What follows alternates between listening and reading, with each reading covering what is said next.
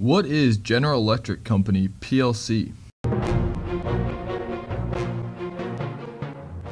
Welcome to PDF Electric and Supply Company, your one source for GE FANUC and GE PLC. Today's video is to discuss the history of GE FANUC and GE PLCs from 1981 to 2012.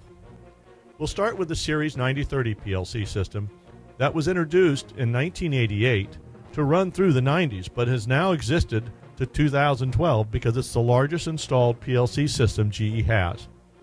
The 9030 system consists of a power supply, a CPU, and then multiple I/O cards that can mount in any slot. It started with the 311 CPU and finally ended up with the 374 processor that has Ethernet built in.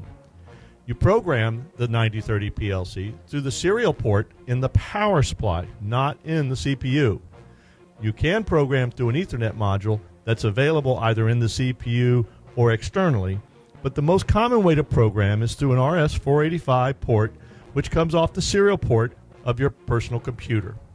It connects directly to the port, and you will be able to program all 9030 PLC systems with either Proficy, the Windows based package, VersaPro, a Windows based package, or Logic Master, which is the original DOS based package.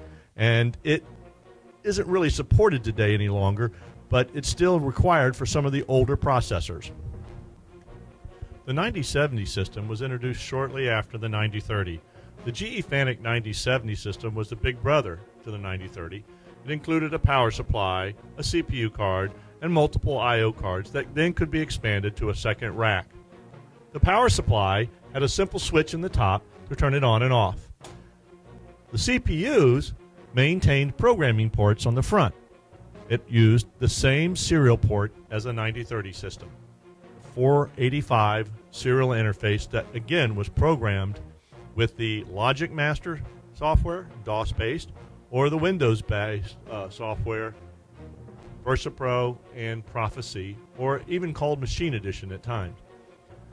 The CPUs typically included an interface to flash the CPU to a later rev, a battery, an on off and enable switch, as well as a second serial port.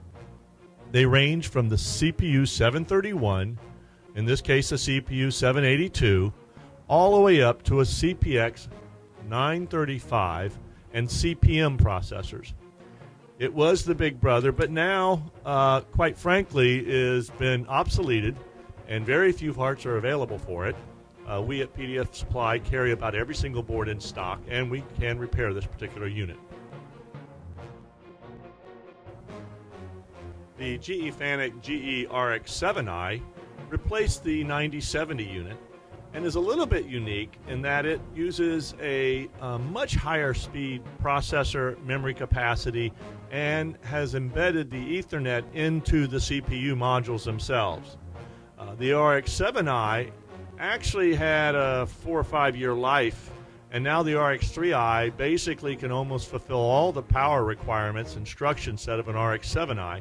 The only feature that the RX7i has that the RX3i does not have is the Open Architecture VME bus, which is a third party interface allowing other modules to be plugged into this system to offer greater versatility.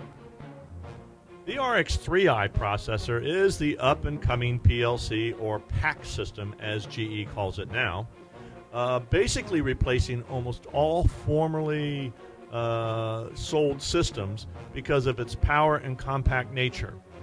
The RX3i includes a power supply, a CPU, an Ethernet module, and multiple I/O. What you will note in the backplane is it allows the old 9030 I/O to be plugged in as well as the new high-speed RX3i I/O. The new CPUs in RX3i include Ethernet connections so that you would be able to not have the, the third module used. The RX3i is the number one selling today of GE uh, PLC systems. It's price competitive and it's got extremely advanced features, very rugged, and uh, utilizes again the 9030 IO system. The GE Series 6 was introduced in 1981. It was first introduced as a model 6600 and 6000. The only difference in those three models were the memory size and the instruction set. Later, they combined all three units into the Series 6 Plus. The Series 6 Plus had a capacity of 4K to 80K. You would simply change out the logic memory card, and in some cases, you would change out the logic control. The Series 6 was one of the fastest processors back in its day. By using 4 bit technology in parallel, they were able to provide 16 bit processing or 1 millisecond per 1,000 words of instruction solved. It was a modular system when it became the 6 Plus, and I/O cards could be actually installed next to the CPU. We maintain a huge inventory of Series 6. Almost every single card is still in stock, and we can repair every part that was ever made of the Series 6. The GE Fanuc Series 1 was introduced in the mid to late 80s. It was the first modular small PLC to hit the market. It was actually manufactured by Koyo and private labeled by General Electric. It included a rack and power supply with a CPU next to the main power supply, and then I/O and expanded to multiple racks. The rack and power supply were all carried under one part number. The programmer simply plugged to the front and you could enter lines of code button by button. A bit painful, so soon the Logic Master 1 DOS based software was provided to give an interface to allow PC based programming. The Series 1 is the, one of the largest installed systems uh, of any PLC and is still in use in many parts of the country today. We keep every part in stock and we are capable of repairing every part. The GE Fanuc Series 3 was the next PLC that was introduced after the Series 1. It's a mid-sized PLC, and what's unique about this PLC is the programmer and the CPU are all one unit. The power supply remains behind it and the I/O cards to the right. It has a serial interface for Logic Master uh, 3 software to be put for programming. It had a short life of about three years in the marketplace uh, before the Series 5 was introduced, and you will find these on elevators and grain mills primarily. We are able to repair, repair these CPUs. Uh, typically, you're going to find some capacitors that decay and fail on them, as well as all the I/O modules. PDF Supply can supply all your GE PLC needs, from the original Series 6 in 1981 to the most current RX3i. We have full repair facilities in house as well as test labs to test any questionable product. Please give us a call and let us help you today.